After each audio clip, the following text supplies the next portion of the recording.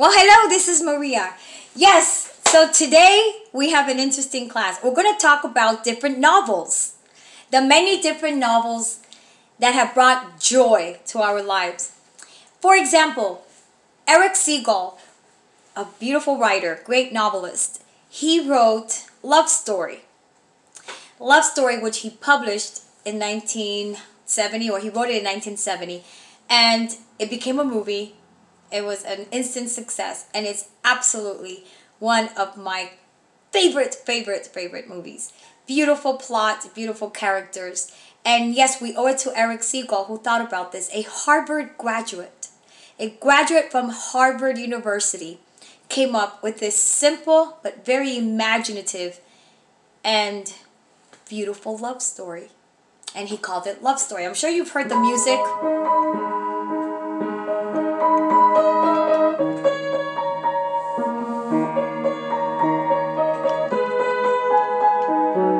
Even the music is just unforgettable, right?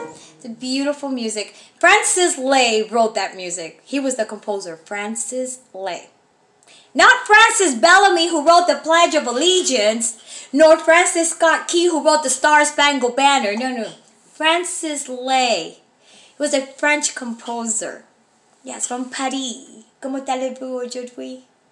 Je m'appelle Marie et toi? Quelle heure est-il? Okay. Um, so, um, Francis Lai wrote the music. Yeah. And Erich Segal wrote the novel, okay. the story. And that story, that novel became a number one New York bestseller. Number one New York bestseller. The movie was nominated for many Oscars, but it's just, it was just a hit. Now, what else? What other novels? We spoke about Jane Eyre, which also has a movie. Did we talk about Pride and Prejudice by Jane Austen? Oh, my daughter loves that one. Pride and Prejudice by Jane Austen, an author, a writer from England. Yes, Jane Austen. She wrote about this family who, oh, you have to see, it has a lot of sisters in it. I, don't, I forgot how many daughters this uh, married couple had. And Elizabeth Bennet was the second oldest. And um, she was very close to her older sister.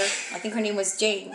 And they were always together. And then she falls in love, Elizabeth Bennet, with Mr. Darcy.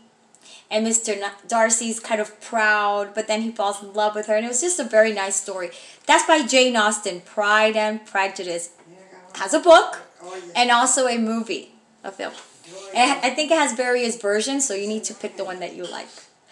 And then, um, what else is there to talk about? These are, oh, we talked about Moby Dick, right? By Herman Melville. These are classics that you can't forget. You must remember Moby Dick by Herman Melville. Um, Jane Eyre by Charlotte Bronte. Love Story by Erich Segal. That's more modern. Love Story is the most modern of all. More, more contemporary compared to the classic, classic literature like Jane Eyre, Moby Dick, and Pride and Prejudice, and so many others. All right, that's what we wanted to talk about. Something very simple and short and brief, but hopefully you will remember the authors and the titles of those classic novels and read them or at least watch the film. But I suggest you do both. Read the book like the book of Gone with the Wind by Margaret Mitchell. You must read that book. That's a must. It's a pretty uh, thick, long book, but you must read that book. That's a great book. And of course, watch the movie by Clark Gables and Vivien Leigh. Gone with the Wind. That one came out, I believe, in 1939, I want to say. Close to the year of The Wizard of Oz. All right, that was it. Hope you enjoyed it. And don't forget to read.